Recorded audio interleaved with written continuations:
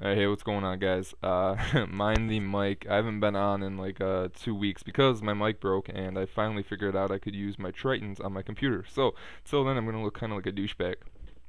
I just want to talk about this game last night against the Detroit Lions. Um, I wish I could have talked shit with uh, that Caleb guy because he loves talking shit about Jay Cutler. I wish I could have talked some shit, but whatever. Um, uh, next time, I guess. um, but yeah, uh, good, good job, good, great game for the Lions. That was a good game. Uh, at least, at least for the Lions. Um, first half we had a chance. Second half, uh, the Lions love to play football in the second half, I guess. Uh, Jahvid Best, 88-yard touchdown run. He had like another 80-yard run, 163 yards on the night. Just amazing against uh, a team that's supposed to be able to stop the run. Uh, the Lions don't run the fucking football. They suck at running the football, and Oh god damn man. And that uh the Bears offensive line uh once again you face a good uh defensive line, a deep defensive line and uh we get butt fucked. That's pretty much what happened. So uh um the loss of Gabe Carimi really I think hurt more than people think cuz Gabe Carimi was actually one of the more consistent players even through the first two games. He was playing really well.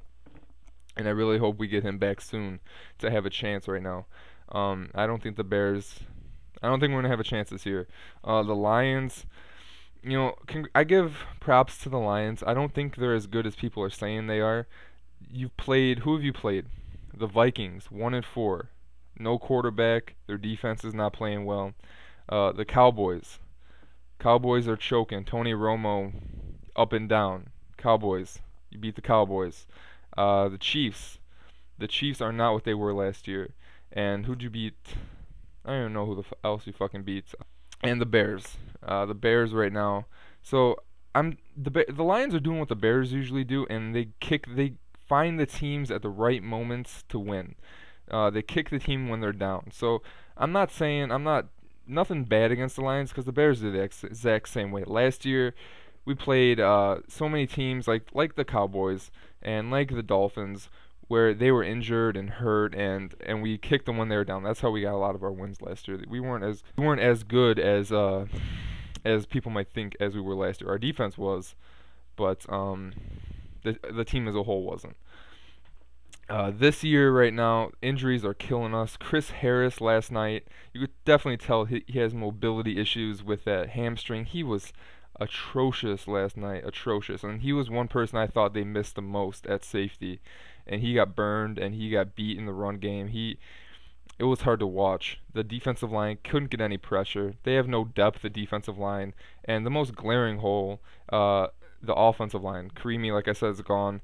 They need to get him back. Omiyale was getting ben- like destroyed, destroyed, destroyed, and then finally gets benched in like the fourth quarter, I think it was, when the game's pretty much out of hand. Lance Louis moved over to right tackle. Edwin Williams comes in, does a serviceable job, but J'Marcus Webb dude.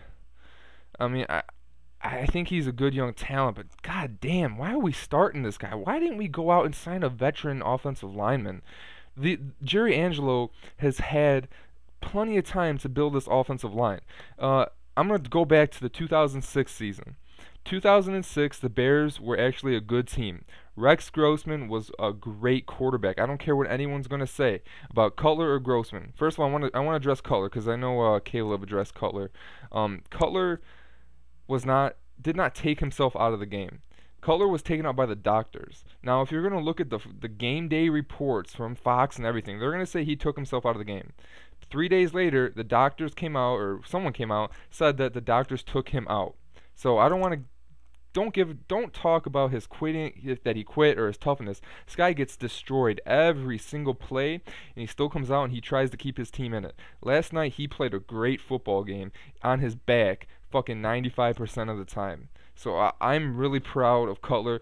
If you give Cutler uh, the Packers offensive line, the Patriots offensive line, even the Lions offensive line, you're talking about this guy top five, top seven quarterbacks. You're talking about him with Ben Roethlisberger and all these type of guys uh, in the same fucking discussion.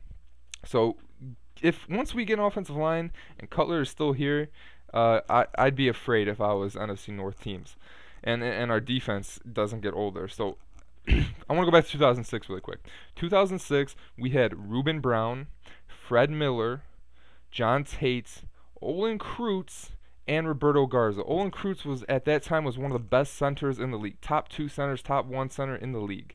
Fred Miller was a, a solid veteran, and uh, John Tait was a great left tackle. And Ruben Brown was was a legend at left guard. So they they had a great offensive line that year, and Rex Grossman he was in discussions for MVP. He was in discussions for MVP if it wasn't for that second half of the season. And I blame everything, almost everything. I obviously he made mistakes, but on Pep Hamilton, their quarterback coach that year, just you know, Rex Grossman is kind of like Tim Tebow. He needed help with his release, and Pep Hamilton did nothing about that.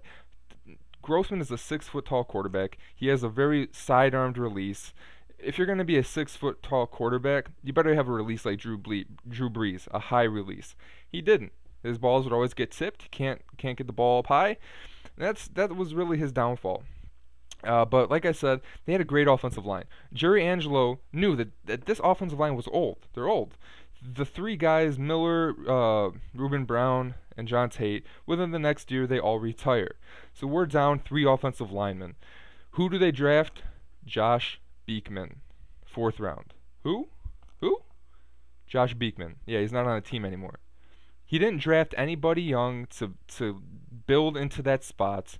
The youngest guy he drafted was Chris Williams, an injury-prone piece of shit offensive lineman who can't block, whose work ethic is questionable.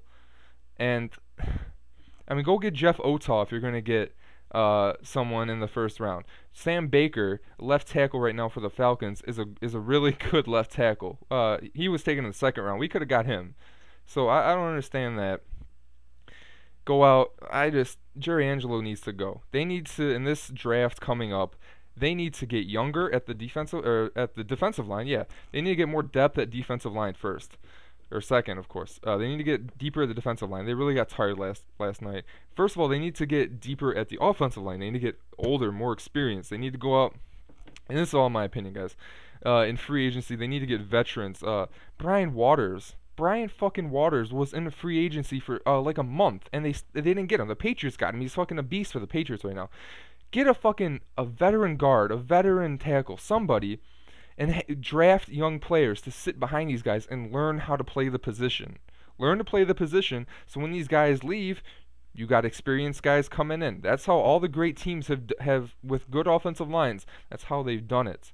You build up your young guys and you put them in. That's how that's what you do. Even I know that. I'm a fucking I'm not even in football. So they need I, like Jerry Angelo. Like what the fuck? That's what you need to do. So Jerry Angelo needs to go after this season. He needs to get a general manager who knows what the fuck to do, not who doesn't trade away Greg Olsen. Like come on. So I'm just really pissed. I'm glad I'm a Blackhawks fan. I am so glad that uh, that I am a Chicago Blackhawks fan because they are fucking good. Um, but yeah, Detroit Lions. Till you guys beat someone good. I'm not that impressed. I mean, you guys are doing what you're supposed to do. You're, you're beating down on shitty teams. But next year, if you guys continue this, and next year when you guys play a really good, good team, um, you guys are gonna are gonna suck. Just like the Bears. Every time the Bears they play a shitty season, they get a weak schedule and they do good.